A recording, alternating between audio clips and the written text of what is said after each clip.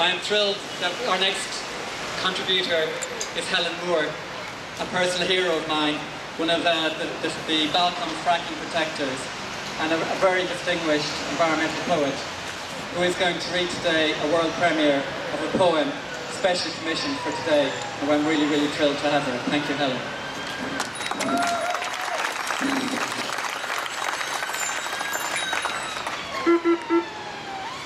Tom's Co-op Bike Cafe and Workshop. This for Ben, bicycle courier dancing on pedals of a red single speed racer, like an eel weaving through currents of traffic, he was just as live and alive. This for Ed, born for his chopper, swapped a life of adventure to work in the city, yet cycling by fold up from Ealing, he loved how the wind played with his tie. This for Jory and her chipped green rally, handlebars decked with poppies and an old Dutch bell, which tinkled silvery and warm as her laughter.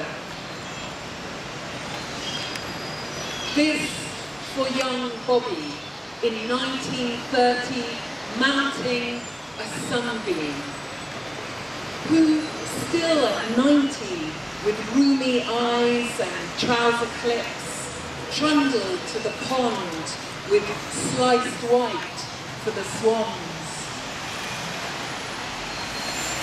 This for Anna, learning at 40. Life begins, she called, circling the park with her cheerful instructor.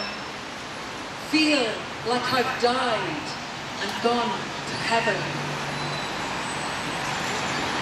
This for Al, who dismantled her racer on Christmas, bike parts decorating the kitchen. She spent days tattooing a delicate ivy design. This for Charmaine, too skint for the bus, too jittery to cycle the three miles to college. Trucks thundering past locked her indoors, missing her placement, eating instead. This for Tash, aka Lady the Diver, astride a black triumph.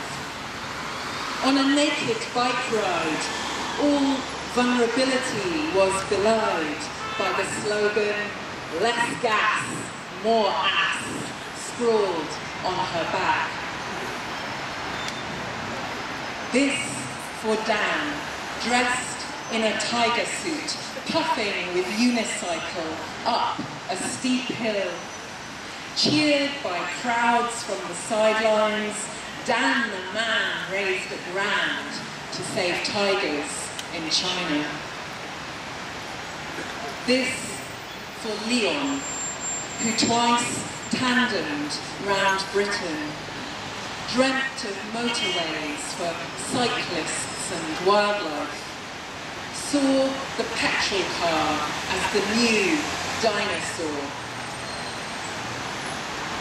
This for Tom, beardy mechanic and road race champion, one-time member of LA's Midnight Riders. Tom's co-op bike cafe and workshop was founded for him and is dedicated to every unknown traffic victim.